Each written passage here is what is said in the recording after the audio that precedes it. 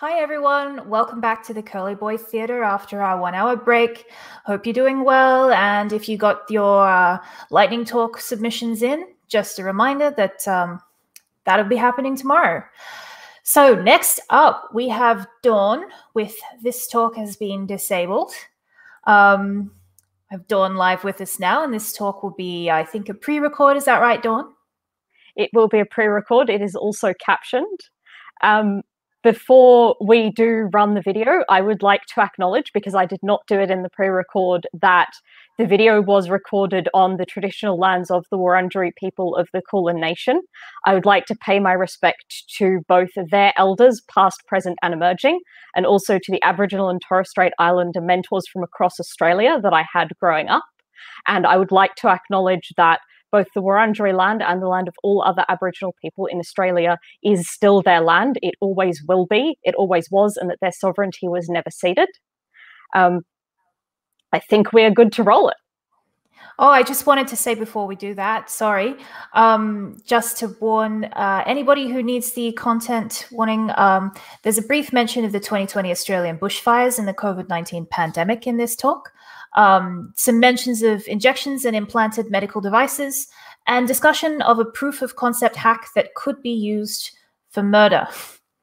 Um, and uh, Dawn, is it correct that you'll be in the comments for this talk as the talk's rolling? Yes, I will be. Um, you'll also find me in the video chat afterwards. Excellent. Thank you so much for being here with us today. And um, yeah, I think me. I think now we can roll it. Yeah, let's roll it.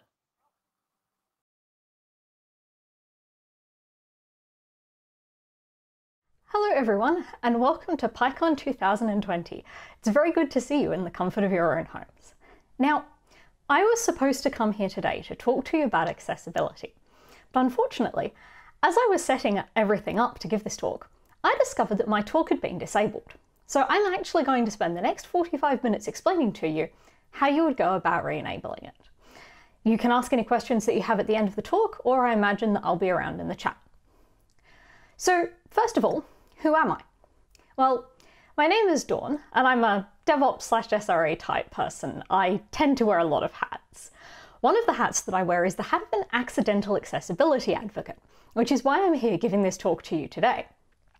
Outside of work, I am an occasional author and kitchen alchemist. Sometimes that ends really well, sometimes it doesn't. I'm also a raging sports ball fan, which is why that picture of me up there is me at Marvel Stadium, and why I'm currently wearing a New England Patriots jersey while giving this talk. So, most of that is fairly self explanatory, but accidental accessibility advocate. I mean, the accessibility advocate bit is fairly straightforward, but how do you become an accidental accessibility advocate? Well, to explain that, we're going to need to take a bit of a world tour. And that world tour starts in England, where we have this excellent disabled toilet that is down the stairs. Not really the best place to have a disabled toilet, considering that most of the people that use disabled toilets can't get downstairs, but maybe the rest of the world is better, right? Well, once again, we're going to stay in the UK to have a look at this disabled toilet, which we found, which someone at a festival photographed, which not only has a handle, which is really difficult to open, but also has a piece of paper pinned to the door saying, door sticking, please pull hard. Yeah, probably not too many of the users of that bathroom are going to have the capability to pull hard. Next, we're going to head over to New Zealand, um, where we have this excellent access ramp to a building, uh, which someone has obscured by putting a couple of orange traffic cones in front of it. The power chair user who's sitting and looking at it is probably not very pleased because they can't get into wherever they wanted to go. And finally, we're going to have a look at the city that I live in, and that is Melbourne, which has these Exeloos, which people generally describe as uh, space age public toilets. They're great, they're self cleaning. So, why are they in a world tour about accessibility advocacy? Well, that's because the Exeloos in Melbourne actually have braille on all of their signage, and inside the toilets, there is a sign that explains that when the light on the sign goes on, one should vacate the toilet because it is about to enter its cleaning routine. Unfortunately, the braille text in that toilet says exactly the same thing. I mean, there's a thing there about being blind and not being able to see light. I don't know. So, before we continue, it would probably be helpful to define a couple of terms. First of all, disability is pretty much defined as a continuing condition which restricts everyday activities. So, legally in Australia, continuing condition means a condition that's going to last for six months or more. And the restricting everyday activities bit is pretty self explanatory. Accessibility is not just about disability, though, it's really about the degree to which an activity can be done by everyone. And some things might be inaccessible to disabled people, but accessible to non disabled people. But you might also have things that are accessible to, say, white people, but not to black people, or to men, but not to women. And warning, this is where we get political for a moment. So there are roughly two different ways that one can consider accessibility. You can look at disability and accessibility in terms of the medical model, which holds that it's disability itself that's the problem and that that's something that we should try to fix. Alternatively, you can look at the social model, which holds that it's not really the disability that's the problem. It's the fact that the world's not designed with disability in mind, and so things end up being inaccessible. And that's sort of illustrated by these pictures that we've got up here, where we have, to illustrate the medical model, we have the vaguely doctor looking blob comforting the blob in a wheelchair. On the other hand, with the social model, when it's done well, you get things like adaptive sport. And so we've got these folks who are playing sport in wheelchairs, and let's be honest, they look pretty happy with that. So, for the purposes of this talk, we're going to look at disability in terms of the social model. I wouldn't want to dismiss the medical model entirely, because there has been a lot of things in the world that have improved because of the medical model, but we'll just focus on the social model for the moment.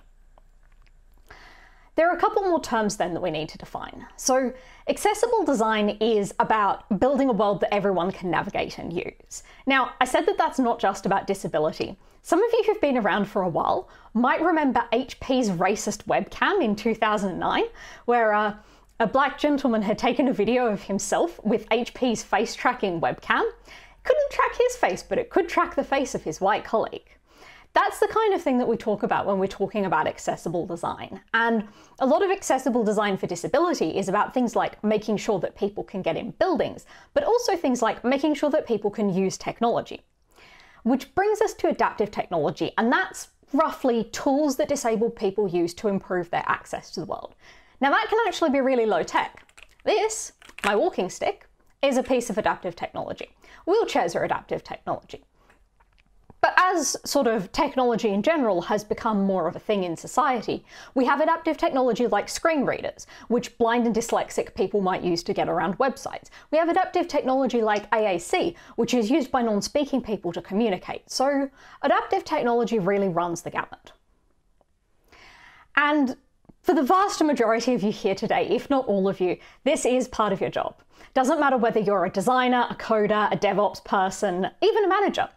Accessibility is something that you should consider every day when you go to work because if you don't do it, then who will? Now, you may be wondering how you would go about doing that. And the first thing that I want to talk about here is this idea that accessible design is good design. And that doesn't mean that if you design things well, they'll be inherently accessible. It doesn't mean that accessible design is good, although that's also often true. What it means is that part of good design and part of designing things well is considering accessibility and make making sure that you design things accessibly. Generally, what I've found is that if your website or blog or application is badly designed, it's probably also going to be inaccessible. Let's look at a case in point. This is arngren.net, and I didn't have to look very hard to find this. It's actually on quite a number of top 10 worst websites ever lists. Now, you can see when you're looking at it, it's not really very logical. There's not a consistent layout. There are a lot of images that are all different sizes. The text is all different sizes. There's a huge number of colors. I mean, maybe it would make more sense if you spoke Norwegian, but it's still not really the easiest website in the world to get around. And indeed, if you look at the accessibility of arngren.net, that's also not great. For starters, just imagine how hard it would be to work out what's going on if you're colorblind. There's a lot of red and green there. Because nothing's in a logical order, it's really hard if you're using keyboard navigation or if you're using a screen reader to actually get around the website. A lot of the pictures don't have alt text, and a lot of the pictures aren't even placed in logical places. So someone with an intellectual or cognitive disability might not actually understand what's linked to what. And then we have distinctive design. This is Ling's Cars. Now, Ling's Cars, interestingly enough, is actually one of the most successful car leasing businesses in the UK. And Ling, the owner, has really built her brand around having this website that kind of it's very unique, very distinctive, and it draws people in. And it's accessible in some aspects, but not in others. So if you want to actually take a look at the website, I mean, you can't really see it in the screenshot, but the tongue is animated, the traffic lights are animated, Ling's face is animated, and my favorite, which I couldn't actually get into the screenshot, is that just below the YouTube video, Ling has an animated GIF of Boris Johnson describing the Boris Brexit guarantee, which is the guarantee that if the UK leaves the European Union, which it now has, then the cost of leasing your car will not go up. But as far as accessibility goes, some of those animated elements can actually be an issue for people with photosensitive epilepsy. And the title of the, the title of the page is basically done in word art. That doesn't actually have alt text. Not all of the pictures on the page have alt text. It doesn't scale very well, as you can see. And if you're trying to get around the page, then some of the menu options are very, very difficult to get around with a keyboard or a screen reader. And that doesn't mean that designing websites like this is bad or that it's something that you shouldn't do. It just means that you might have to think about, if you're designing something that's really distinctive, you might have to sort of think about ways, you know, how can I make this more accessible? What's the extra effort that I need to put in? Now, if we're looking at an example of good design, here's something that probably a lot of people here use on a fairly regular basis, and that is GitHub. And GitHub is not perfect as far as accessibility goes, but it's a well designed website that has a reasonable accessibility baseline. To start with, if we have a look at the information up there, you can see that it's not a sort of home contents help. You've got the search bar, and then in the top bar there, you've got pull requests, issues, marketplace, and explore. And that's really good because if you're using a screen reader, those are a lot of the places that you tend to go to a lot using GitHub, so it's really easy to get to them even with that bar, even with that bar on the screen, which explains to you what type of code is in this code base, that is information that's conveyed with color. But if you mouse over that, you actually get a tooltip that gives you text. Or if you navigate over that with a screen reader, you get a tooltip that gives you text. So there's no way that they're conveying information only using color. It's, it scales fairly well. The fonts are fairly easy to read. And as a matter of fact, this is actually the repository for NVDA, which is a free and open source screen reader for Windows. And the reason that NV Access, which is the company that produces NVDA, uses GitHub is because they've worked out that for their blind and visually impaired users, it's the easiest way for them to be able to navigate around the page and submit issues. Now, there are a lot of resources that you can use if you're interested in accessible design and doing this well. The Web Content Accessibility Guidelines are kind of the starting point for anyone who wants to make sure that their website or other software is accessible. And the Accessibility Project has produced effectively a plain language version of these, which is a bit easier to understand and go through if you want to make sure that your website is accessible. Speaking of plain language, and intellectual and cognitive disabilities are not something that I'm going to touch on very much in this talk, but something that's really good to do is to have a look at the US federal government's plain language standards because what these do is they explain to you if you have a website that's very reliant on text, how you can phrase that text in a way that's very easy for people with intellectual and cognitive disabilities to understand. And if you're a DevOps person like me, or you develop with a lot of pipelines, then you can actually automate a lot of this. So there's also a list of tools for accessibility testing, and you can take a lot of those and you can automate them straight into your CI CD pipelines, which means that you can pick off the low hanging fruit and make sure that they work, which will take a lot of the workload off of your QAs. Now, Kristy Viers is a blind person who produced a video explaining how she uses the iPhone's accessibility features. And this is something that I recommend that everyone who's interested in accessibility should watch. not because it's a great resource on how to do it, but because it shows you what's possible when you really think about and design things with accessibility in mind. I mean, the iPhone has a Braille keyboard. It has a great number of features in terms of voice activation and in terms of being able to use your phone if you're blind or visually impaired in a way that a lot of us wouldn't think about. But they've done that because they've designed it with the needs of blind users in mind. So I absolutely recommend checking that out. Now, colour blindness is a really common accessibility requirement. About 5% of the population, mostly men, are colourblind. And one tool that I recommend that you use is the Colour Oracle desktop filter.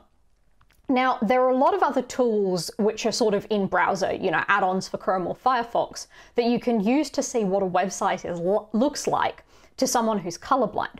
The reason that I recommend Color Oracle over those websites is because Color Oracle is a desktop application. So it doesn't just have to be websites. Like if you're developing mobile apps or if you're developing native applications for Windows or iOS, you can actually use Color Oracle to see what those applications look like for people with all different types of color blindness. And as far as using screen readers, the Paciello group have put together this really good list of basic screen reader commands so that if you need to be able to navigate around your website with a screen reader, you can pull up that list and it contains commands for three of the most common screen readers, JAWS, NVDA, and VoiceOver. And you can use that to make sure that you can get around your website with a screen reader. The last one that I think is actually really important to call out is the Photosensitive Epilepsy Analysis Tool, or PEAT, which was developed by researchers at the University of Maryland. The reason that that's really important is that photosensitive epilepsy is actually a major health risk in terms of having elements on your websites or in your software that can cause seizures. And because it's a major health risk, you can't ask people with photosensitive epilepsy to test that. So the researchers at the University of Maryland have created this completely automated tool which will allow you to do it yourself. Now, the Web Content Accessibility Guidelines are a good starting point, but one thing that's useful to bear in mind about guidelines is that they often actually don't tell the whole story. Let's look at a few of the ways that that kind of manifests. So, there are a lot of things that guidelines don't teach you. And to start with, what happens if someone has accessibility requirements that the guidelines don't cover? And this is one that really gets on my goat because minimum font size on websites is really relevant to me, and that's not in the Web Content Accessibility Guidelines. They do specify that you should be able to zoom websites up to 200 times, but I can tell you from experience that 200 times 6 point font is still pretty small. So you want to consider if you are developing a website, what happens if you've got users that have requirements that aren't in the guidelines? What if different groups of people have clashing requirements? And you can look at that in terms of visual impairments, where you'll have people whose eyes will let in different amount, amounts of light. You can look at that in terms of perhaps autistic users or users with migraines might have different requirements to someone who needs a light mode. And so you want to make sure when you have different groups of people that have clashing requirements, that you have a certain amount of customization. And light mode and dark mode are a really good thing to call out here or you can allow users to customize the website themselves. What if you're overwriting someone's local accessibility settings? And this happens depressingly frequently that there are posts on blogs or forums or someone calls up a call center and they say, hey, I use a high contrast mode on my computer and I've tried to install your desktop software and it's, it's overwriting my high contrast mode. And if someone does that, you want to make sure that your response is sort of, okay, let's get that sorted out and work with you. But the best thing that you can do is to not have that issue in the first place. So make sure that you test it so that you know you're not overwriting someone's local accessibility settings. What if the guidelines are misleading? And most often they're not going to be, but there were some researchers who were interested in how button color and contrast were affected by color blindness, and so they recruited some colorblind folks and some non colorblind folks for basically a study where they looked at blue buttons with black text on a white background and blue buttons with white text on a white background. And what they found was that sort of mid blue buttons with the black text, even though that would meet the Web Content Accessibility Guidelines, on a white background, it was actually harder to see than the white text, which failed the Web Content Accessibility Guidelines contrast checkers. So that's something that's worth calling out. You also have to look at what if the guidelines priorities are wrong for your use case. For example, if you have a website with a lot of deaf and hard of hearing users, you're going to want to focus on things like sign language interpreting and captioning audio. But if you're using a guideline that's intended for blind users, that's going to focus on really different things. So you want to make sure that if you have a particular user base, you sort of have an understanding of that. What if the guidelines only cover good, not better? And I like to talk about this generally in terms of the 80 20 rule, because 80% of accessibility requirements you can solve with 20% of the work. But that other 20% will be about 80% of the work. And that will be when people make those blog posts or they call into your call center and they say, hey, I've got this issue. So you want to make sure that they have an easy way to contact you so that you end up being aware of those things. And you want to make sure that you address them. Now, for a lot of accessibility talks, this would be the point where the person giving the talk would explain to you how to do everything right. This is not one of those talks, and the reason for that is that I think it's often very instructive to actually look at what people do wrong so that you can learn from the common mistakes that people make. This is Atlassian Confluence, and I imagine that a lot of the people who are in the audience today will probably have used Confluence. For those who haven't, it's basically a central repository for documentation across a company. And a lot of big companies use it. Now, it looks fairly logical, right? You've got a test space, you've got some information on the left hand side that tells you about what's going on, you've got a whole lot of information in the center that explains to you how you would actually go about starting up with this test space. You can create a page and you'll see a dialog like this appear. And then once you've actually created that page, the page itself looks like this. That looks fine, right?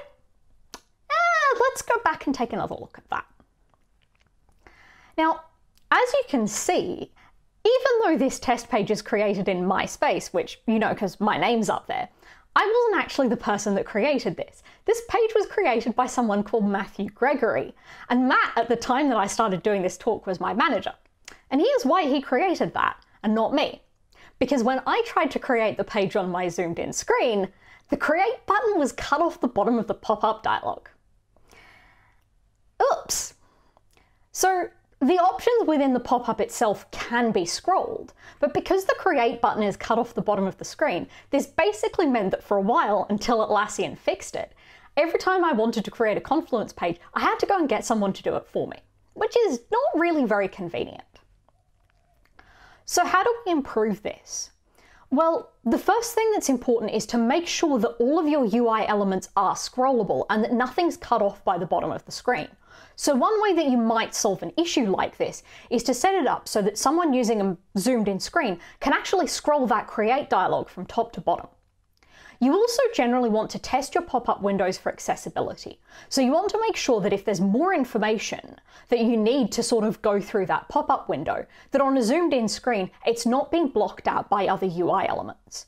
And you want to make sure that they can be navigated using adaptive technology. So things like screen readers and people using zoomed in screens, does it appear to them in a way where they're still able to get around it? Now, the best thing to do is either to increase your screen size yourself or get some users of magnified screens to come in and test your application because they do it every day, so they're generally going to be able to work out what the issues are much more readily than you are.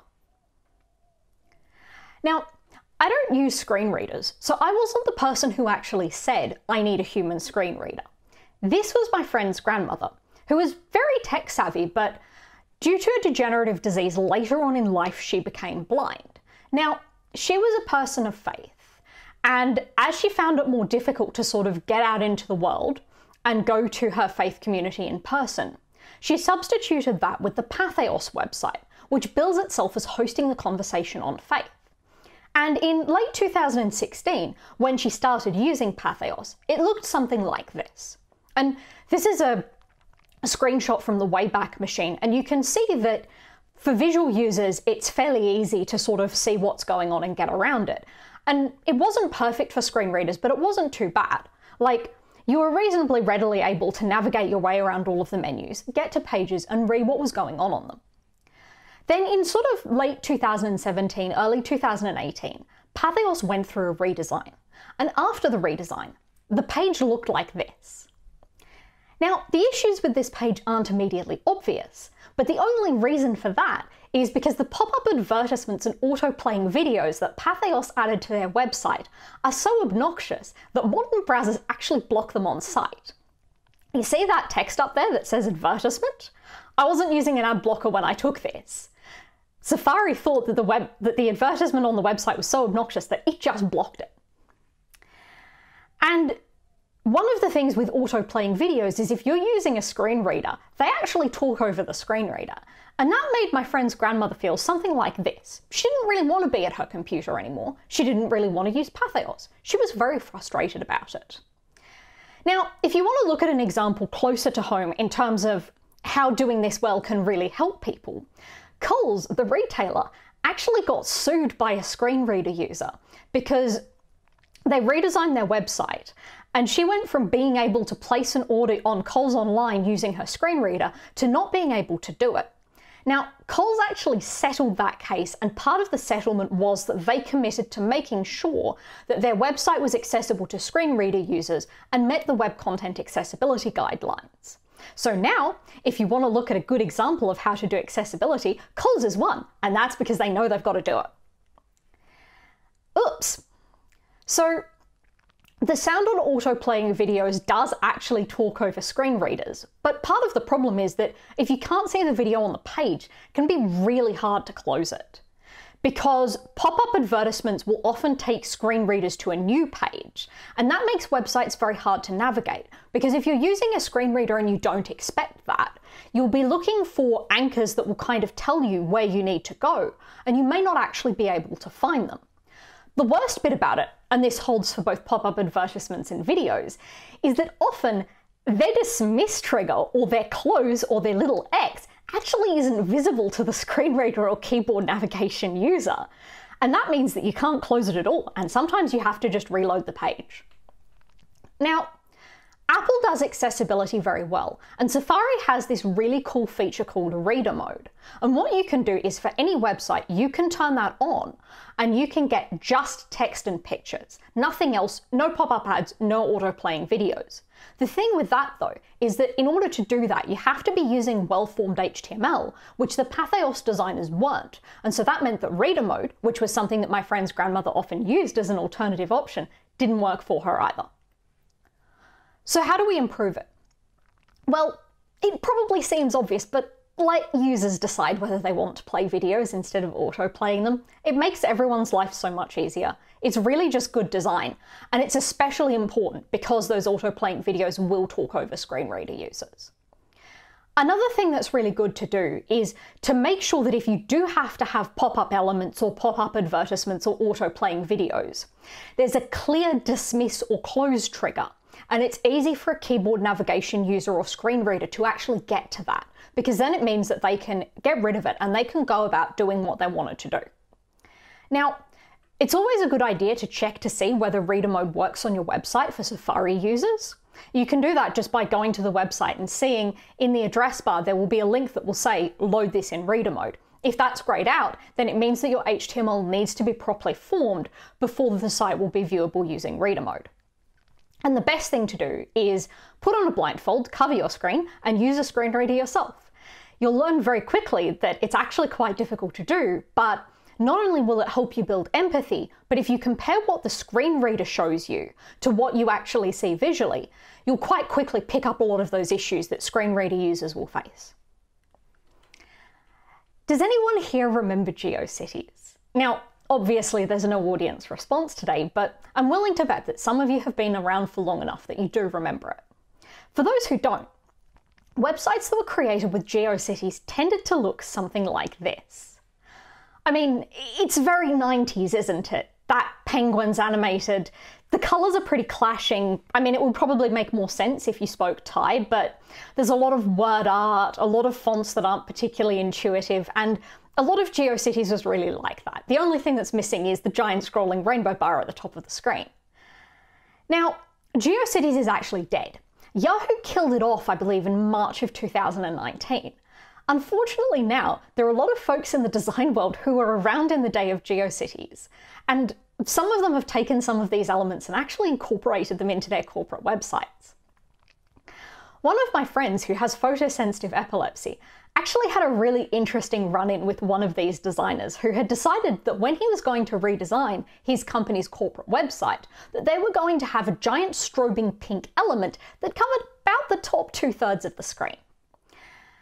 Which is basically the equivalent of taking your fancy corporate website, we are very amazing, and we will show you why, and putting a Nyan cat on it, which is probably not something that I'd recommend doing for business. Now, my friend who works in the IT industry had heard about this company and she was very interested to find out what they did. So she went to their corporate website to check it out, and because there was a giant strobing pink element on the front page, she had a seizure. And that resulted in a phone call that I suspect that the designer probably didn't want to have. Oops. So, flashing, flickering, and strobing effects are a pretty major cause of seizures for people with photosensitive epilepsy. And one of the reasons why this website was such an issue is that saturated reds and pinks, which are at one end of the wavelength spectrum, are much more likely to trigger seizures for folks with photosensitive epilepsy. The other thing that's an issue is high contrast effects. So if you have, say, bright red flashing to white, that's going to be much more likely to cause a seizure than dark blue flashing to dark green, because there's a lot less contrast there. Photosensitive epilepsy is, though, a spectrum from mild to severe. And so some folks like my friend, who are on the more severe end of that spectrum, will tend to have to deal with those issues more frequently. So it's a really good thing to try and make sure that you do design with this in mind. So how do we improve it then? Well, you should probably avoid using flashing, flickering, and strobing effects if you possibly can, because not only can they trigger photosensitive epilepsy, but they can also be a distraction for folks with things like ADHD. If you look at a lot of the back of a lot of video game cases, they will actually have warnings on them that say there are flashing, flickering, and strobing effects in this game, and it may trigger photosensitive epilepsy. And that's why those warnings are there. So, as well as warning people, if you do need to use those kinds of effects, you want to make sure that they're as small as possible and as low contrast as you can possibly get them. So, some dark blue flashing to dark green in a corner is not going to be as much of an issue than the big pink strobe at the top of the corporate website. And again, you do want to avoid using saturated reds and pinks if you possibly can. Now, if your website does absolutely need to have flashing effects or animations, one thing that you can do is to give users the option to disable them, because that means that folks with things like photosensitive epilepsy or ADHD still have the option to experience the website, even if it's not necessarily in the way that you intended. Now, there is actually a certain amount of precedent for disabled people being involved in integrated sports, and that can be everything from kids playing in the schoolyard all the way up to Olympic medalists like Rejtő Ildikó, the Hungarian fencer, and Im Dong Hyun, the Korean archer. Now, in the modern day, obviously as technology has become more of a thing, sports have evolved, and one thing that's come out of that is esports. And this case study that we're going to look at specifically looks at League of Legends esports. Now, for those of you who aren't familiar with League of Legends, it's kind of akin to a video game sort of capture the flags. You have teams of five that are aiming to defeat an enemy base. And every person on that team of five is able to pick their own character or champion with special abilities. And for the purposes of this case study, we are talking about Tahm Kench, who is a champion in League of Legends and is the titular catfish. And when he was introduced to the game, he had a mechanic that no other character had called grey health. What you would usually see is that those health bars up there would have dark red and dark or bright red and bright green to the left, and then a very faded red and a faded green to the to the right to indicate health that had been lost. But in Tahm Kench's case, you can see that there's a big chunk of the health bar that's grey. That's because that indicates the grey health, which is a shield that Tahm Kench puts up, so at this point, he's effectively unkillable. And this is where we find out how many colorblind people are in the audience today, because we're going to put a colorblind filter over that. And what we find is that's not actually so clear. It's very difficult to tell the difference between the grey health and that faded red and faded green that indicates health that the character has lost. Now, you might not think that there are that many colorblind people who play video games. On the contrary, Tahm Kench actually resulted in a tweet from a professional player. saying, If you didn't know, I'm colorblind, along with two other members of my team, and all three of us can't see what health he's at in colorblind mode. The reason that the professional player put this tweet out was because him and his team effectively couldn't play when Tahm Kench was on the battlefield, which meant that they were unable to do their jobs. Oops. So, to their credit, Riot Games, the owners of League of Legends, did actually rectify this situation fairly quickly after it was brought to their attention. But what's worth noting here is that, as you can see from the screenshots, most colorblind people can't tell the difference between red and green.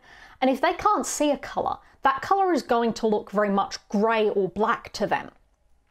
Now, colorblind people will generally use contrast to tell the difference between color, colours that they can't see. But one thing that you have to bear in mind is that even in a colorblind mode, not all of the colours will necessarily be clear to people. And if you are developing a colorblind mode where you're using icons, those icons should definitely be unambiguous. So how do we improve it? Well, first of all, you want to use a contrast checker to ensure that elements will be viewable by colorblind people. You can use a contrast checker, you can also use something like Color Oracle, put colorblindness filters over it, or get colorblind people to test it, even pardon me, even if you do have a colorblind mode, because then it will make it much easier to work out where the issues might actually be. Now, it's not just red or green colorblindness. There is actually blue colorblindness or tritanopia, and there's also achromatopsia, which is a complete lack of color vision.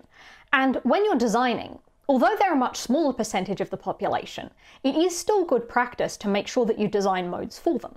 Slack, the messaging app that probably a lot of people here use as well, does this really well.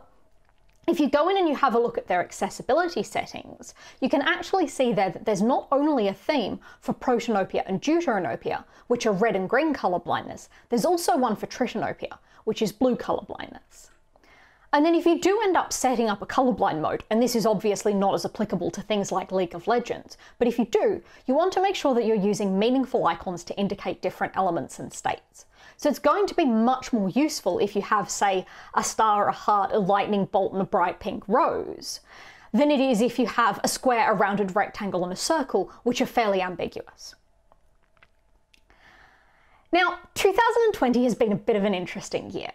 We've had a lot of upheaval in the world, and even here in Australia, we've had a couple of fairly major disasters. Earlier in the year, we had the bushfires, and at the moment, we've got the COVID 19 pandemic.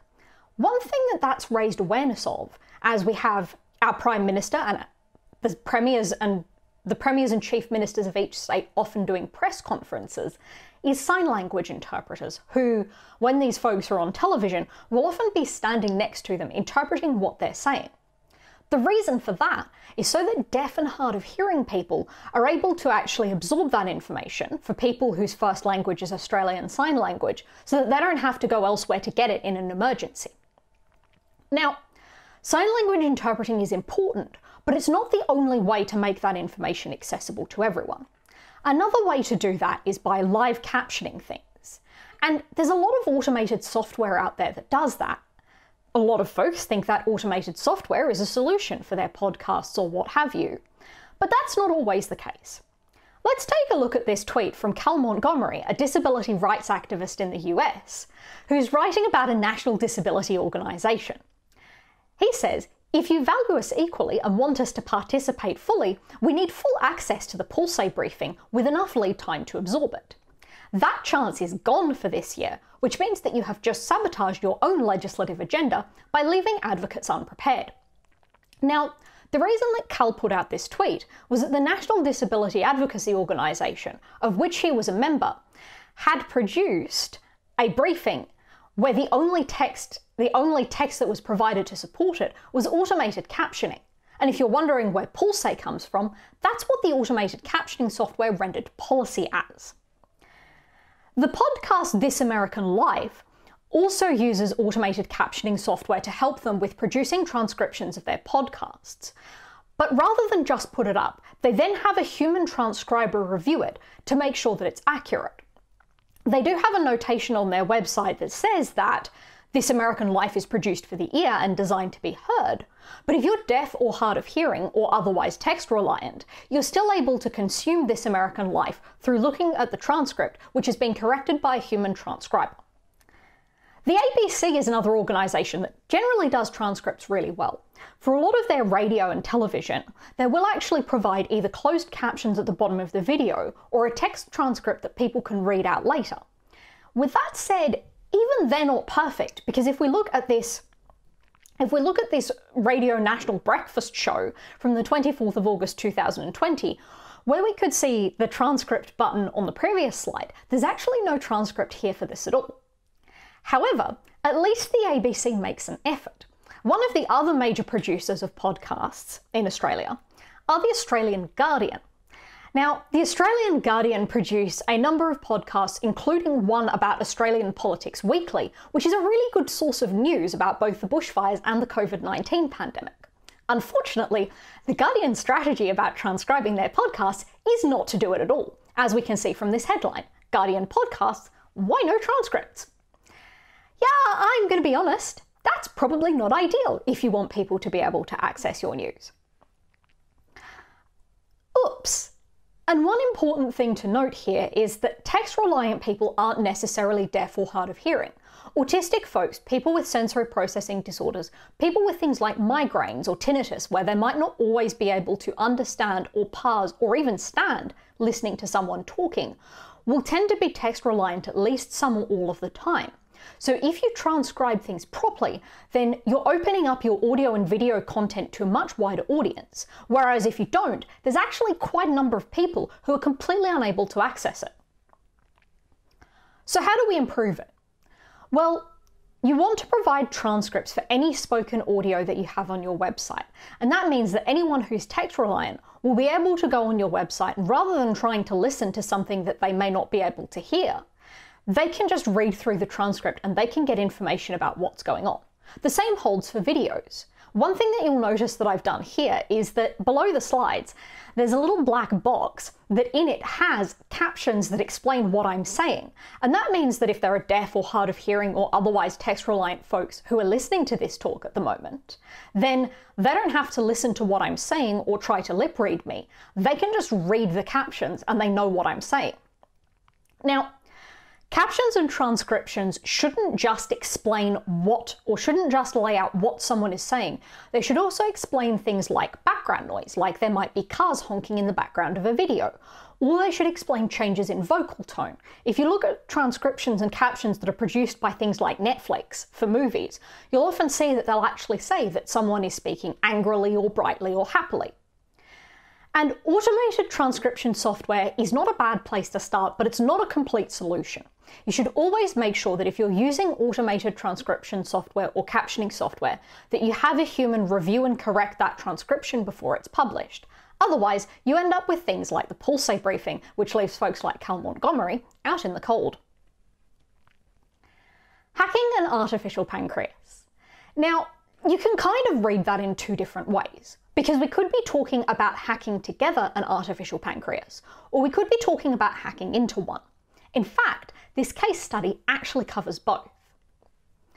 This up here is a Medtronic Mini-Med insulin pump. Basically, diabetic people can hook themselves up to these so that rather than having to regularly inject themselves with insulin, they can have the insulin pump do it for them. It's much more akin to what the pancreas, which is the organ that doesn't function properly for people with diabetes, will generally do in healthy people. Now, the Mini-Med insulin pump in this picture actually had a really major security flaw in it. And that was interesting because one thing that happened was that a lot of diabetic people started hunting down these obsolete insulin pumps despite the fact that they had a security flaw. The reason for that was that these mini-med insulin pumps could communicate with a remote that someone could use to deliver insulin to themselves via a very common radio frequency. What a couple of people had actually worked out was that if you could get a constant blood glucose monitor, which is implanted under the skin and delivers information using that same radio frequency, you could hook the two of them up together and effectively create an artificial pancreas, so that as your blood sugar fluctuated, the Mini-Med insulin pump would deliver appropriate amounts of insulin. Now that was great. It was a security flaw that someone was able to exploit to benefit a large number of people. Unfortunately, there were also some unintended consequences of that, because obviously anything that has a security flaw, like these Medtronic insulin pumps, is vulnerable to hacker attacks.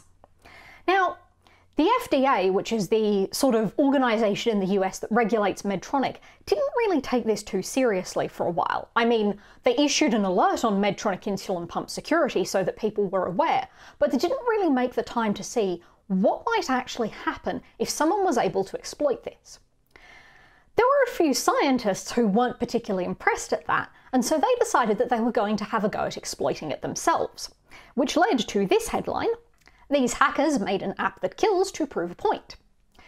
Because what the ethical hackers had worked out was that not only could these MiniMed insulin pumps communicate with blood glucose monitors, they could also communicate with any smartphone and with a little bit of hacking, a lot of TV remotes. Which is not really terribly ideal.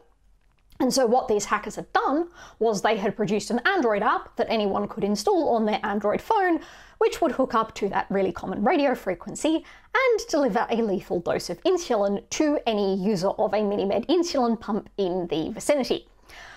Which finally prompted Medtronic, through the FDA, to recall their vulnerable MiniMed insulin pumps. Oh dear. Now, when you're developing medical devices or health applications in general, accessibility issues aren't just about design. Often, then, security issues can actually be an accessibility issue because they can potentially render the device or the application completely useless, or, in the worst case, potentially be used to kill people. And it's a really important thing to consider when you develop those kinds of health applications and medical devices. People are giving you a lot of private information, and you do often hold lives in your hands. The issue with that is that if you're regulated by an external organisation like the FDA, they may not actually tell you about those kinds of issues quickly, or even necessarily at all. So you need to make sure that you're across it so that you don't end up being on the back foot if something happens like it did with the MiniMed insulin pumps. So, how do we improve it? Well, the first thing to do, I mean, really just sort of institute good security principles. And the first thing to do there is you want to consider the possible attack vectors. So, I'm building a health app or I'm building a medical device. How might a black hat person or someone who wants to hack this to get information or to hurt people try to exploit that? Then you want to conduct penetration testing, and you generally want to do that before your device or application goes to market. So you get in skilled security professionals who you pay, and they will basically try to attack that device for you and then give you a list of findings so that you can remediate them. If people do make you aware of security vulnerabilities, then it's a good idea to respond promptly to them. Not only will you show people that you're serious, but you'll potentially not be opening yourself up to liability later down the line. The really sad thing about this case study is actually that unintended uses can often be a business opportunity. If Medtronic had been aware of people using these mini-med insulin pumps to hook this up, and they had decided that they were going to try and produce a device that was a continuous blood glucose monitor hooked up to an insulin pump, that would have opened this up to a huge number of people who didn't have the technical know how to hack it together themselves, and it would have been a great business opportunity for them. As I speak, it's been, I think, about six years since these MiniMed insulin pumps were recalled. And Medtronic are still working on a device that does that. As far as I'm aware, it hasn't yet come to market. Hopefully, it does at some point because I think it will be much more beneficial to a lot of people and hopefully much more secure than the artificial pancreas that people hack together themselves. Now, I've been giving this talk for probably about eight or nine months now, and one thing that happened with this, even though I use a walking stick, is I became much more interested not just in my own accessibility requirements, but in accessibility in general.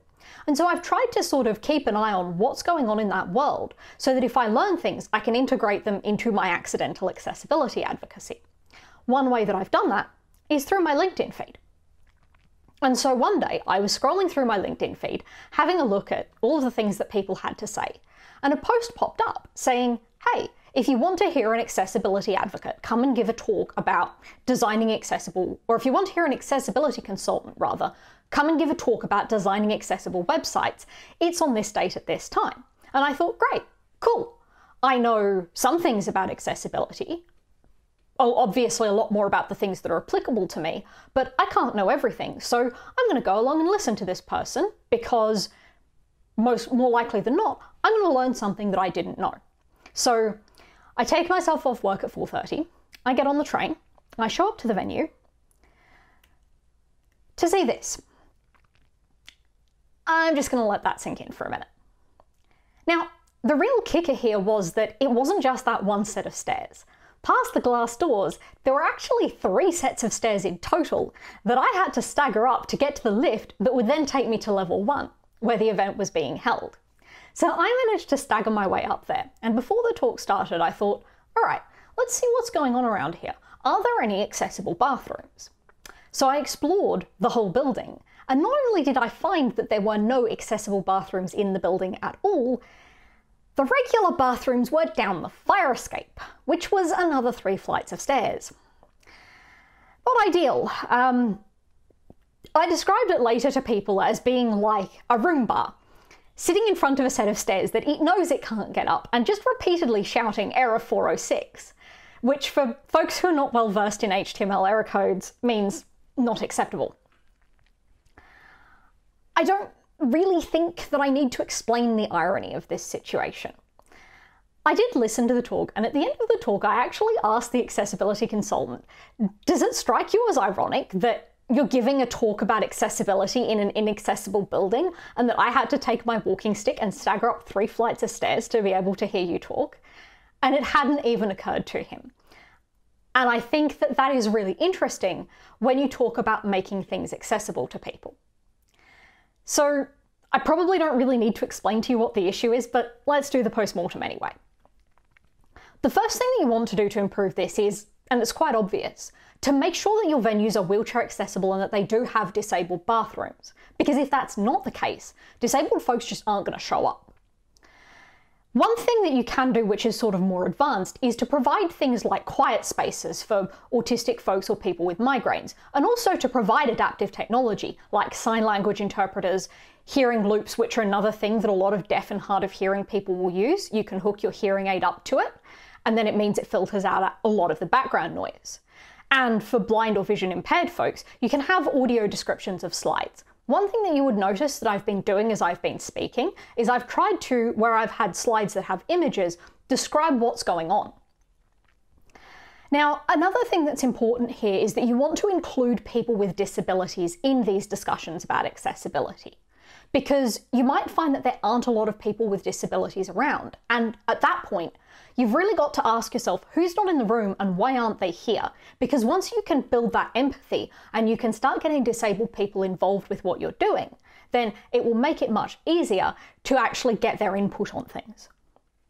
So, to recap, accessibility benefits everyone, not just disabled people. One quote that someone gave me while I was doing this that I really liked was the screen readers are great if you're blind, but they're also great if you've got two toddlers and you just want to be able to read a book.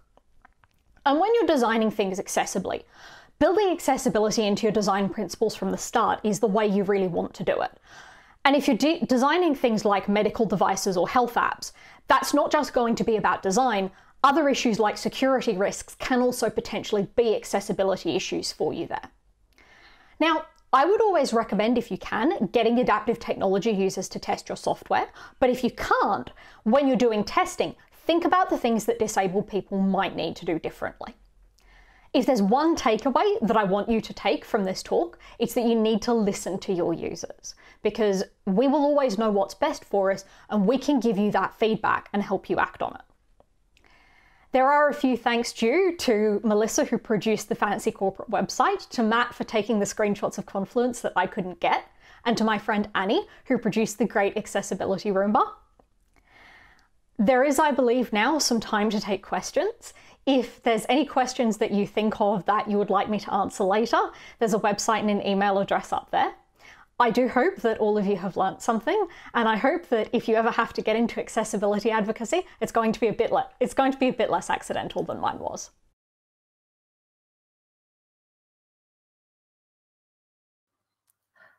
Thank you so much, Dawn. That was great. And I know that uh, Twitter has been really loud. I know that you've been very engaged in the chat as well, where there have been a lot of conversations going on.